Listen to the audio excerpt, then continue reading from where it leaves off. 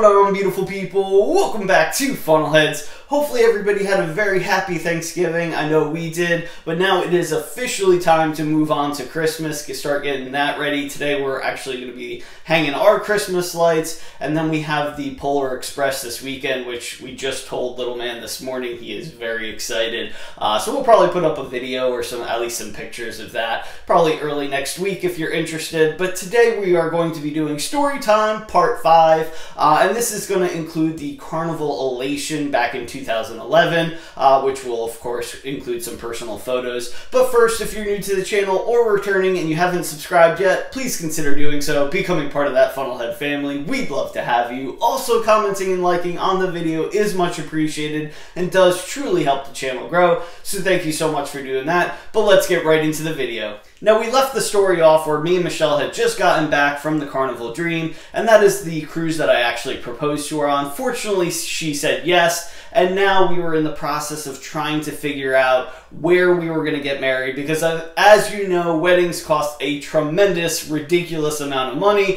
which we had none of. so we were trying to figure out what the best way to do this and where because we had family in New Jersey, New York, we were in North Carolina. Um, so originally we were, we were starting to look at, you know, a state wedding, just a place where we could all meet, and it was just so expensive. So then our thought process turned to, well, we met on a cruise, we got engaged on a cruise. Why don't we see what the prices of a wedding on a cruise was? And that's exactly what we did. Now, we actually went on two cruises before the wedding, uh, which was Carnival Fascination, which is a video I just did a few days ago, and then this one, which is the Carnival Elation. Now, of course, we love going on cruises and vacations and all of that, but the real reason we went on these two, two cruises specifically was we were trying to figure out where we wanted to get married. We were doing a little bit of research. Uh, so we were trying to figure out if we wanted to get married on the ship, of course, before you leave port, or if we wanted to go to an island destination and get married there. And on the Carnival Elation, we ultimately decided where we were going to get married because on the Elation, we stopped in a few different islands, but one of them was Cozumel, Mexico. Now, as many of you know, Cozumel, Mexico is one of our favorite islands to visit, whether it's an all inclusive or for cruise stop. And I'll probably do a specific video on just Cozumel uh, in the near future because it's su just such a wonderful place. Um, but on this stop, we actually were able to visit the hotel and the beach that our wedding could be at. And we fell in love with the beach setting. Uh, so that's what we ultimately decided. And we were so excited in that moment. We actually got a few pictures at the hotel, which you'll see at the end of the video. Um, you know, when we ultimately decided that th that's what we wanted. So now it was basically, you know, game time of letting everybody know because, of course, it was going to be on a cruise at a destination. So we wanted to give people at least a year. And I think we ended up giving people about 18 months to figure out if they were able to go or not. Um, but that's where we're going to leave the story today. Uh, I wanted to share some of our personal photos of that trip in 2011. So hopefully you enjoy, and I'll be right back.